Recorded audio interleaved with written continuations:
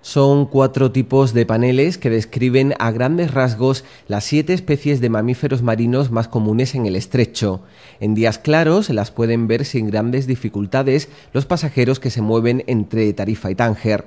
Por eso CIRCE, consciente del valor ecológico del estrecho de Gibraltar como hábitat natural y también pasillos en los movimientos migratorios, ha elaborado unos paneles que ayudan a identificar cada especie y a conocer sus principales problemas de conservación ya se han instalado en el interior de los buques de las navieras que operan en el estrecho y también en los pasillos y salas de espera de las estaciones marítimas de Tarifa y Algeciras. La idea no es otra que seguir haciendo educación ambiental, también cuando se navega sobre el estrecho. Para CIRCE, la transmisión de información es vital si quiere implicar a la ciudadanía en la conservación del entorno. La idea era de diseñar un material educativo, en concreto estos paneles de, información sobre cetáceos para, los pasajeros y los personales del transporte marítimo, ¿no? porque pensamos que el conocimiento es el mejor camino hacia la conservación de los, de los cetáceos.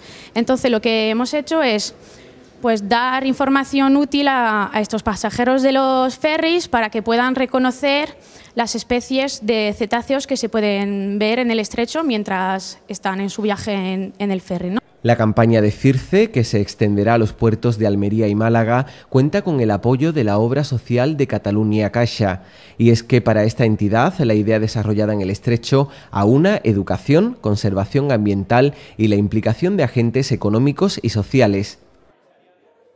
Esta zona, concretamente del estrecho, es una de las eh, áreas marinas más importantes eh, no solamente en España, sino solamente ya a un nivel ya más continental, europeo, incluso mundial, y por tanto es una zona de máxima prioridad de actuación eh, en conservación del recurso marino, que es una de las grandes, de las grandes digamos, mm, cenicientas de la conservación en todo el mundo. ¿no?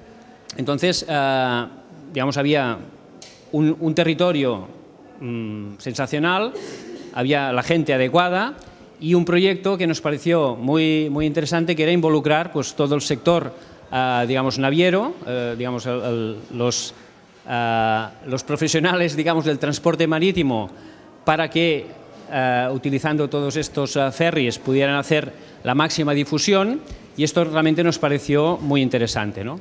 También la Autoridad Portuaria de la Bahía de Algeciras colabora en cofinanciación del proyecto a través de la Comisión Puerto Comarca.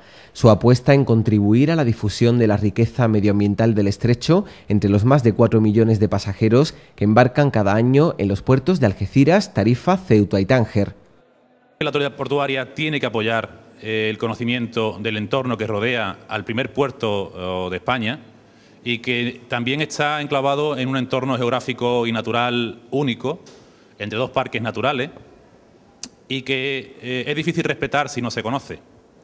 Con Circe no, eh, o tenemos relaciones desde hace ya un tiempo, somos conocedores de su gran labor en el, en el campo de la investigación, como también el de las eh, empresas de avistamiento de cetáceos. las relaciones a veces son complicadas, pero intentamos siempre llegar al, al intente común en tanto en cuanto el respeto y la participación de la autoridad portuaria tiene que ser el máximo posible desde la objetividad y desde la implicación y la eh, conciencia de que la sostenibilidad tiene que estar implícita en todas las actuaciones y proyectos que lleve a cabo la, la autoridad portuaria.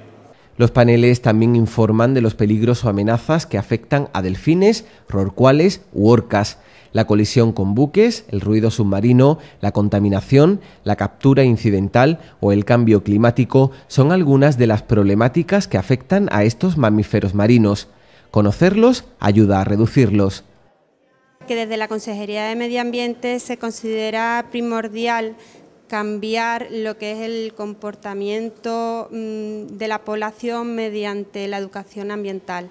Eh, para ello, proyectos como este resultan de gran importancia, puesto que están dando a conocer Eh, un medio quizás para muchos desconocidos como es para el, medio marino.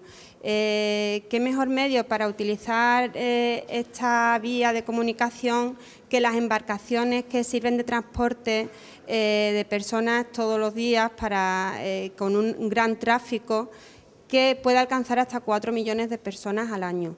mediante la instalación de estos paneles se accede de esta forma a un elevado número de personas.